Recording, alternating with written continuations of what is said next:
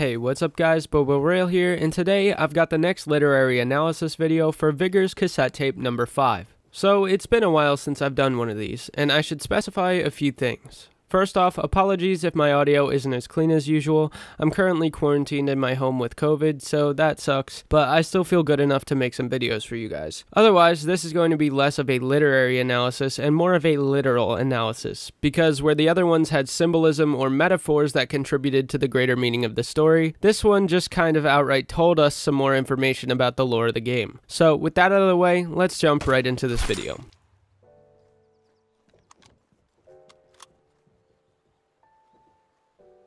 Okay, so to start, we have the opening sentences, which just establish our setting and immediate context for this cassette. She's in the rafters of a small shed and listening to the two people talking underneath her. So next up, we learn that both of these guys are from Ark, and more specifically, that Ark is trying to rebuild humanity and bring back civilization. Now, we pretty much already knew this from the Adam storyline, but still, now we have another example in writing of ARK or the Airdrop Retrieval Corps' motives as an organization. In this next section, she explains that one of them is apparently a new member. On one hand, this is meaningful to this little section of story because it's the writer's way of giving us a lot of Ark's exposition with just one conversation, but it also raises the question of Ark's recruitment methods. If they're still gaining members, what's the difference between a normal Outlander and an agent of Ark? What would the recruitment process look like, and is there potential in the future for us to join the faction ourselves? Unlikely, if I had to say so myself, but nothing wrong with a bit of tinfoil hat speculation for the future of Vigor. Now, here she uses the irony of their name and their intentions to highlight the hypocrisy of ARK's members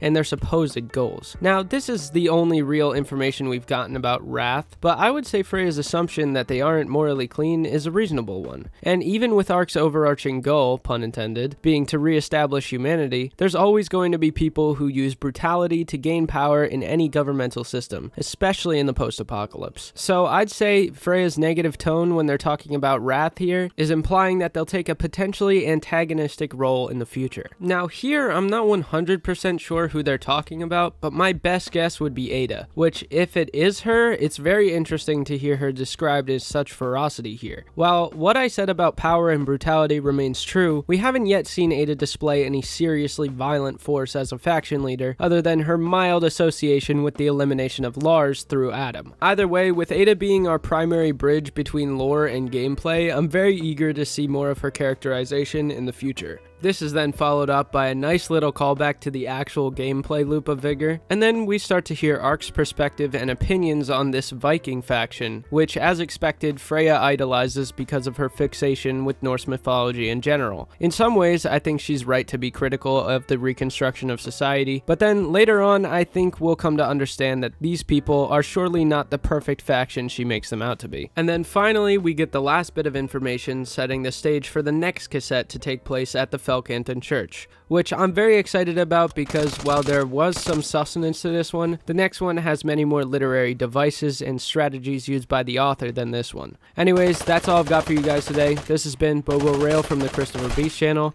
and I'll catch you all in the next one.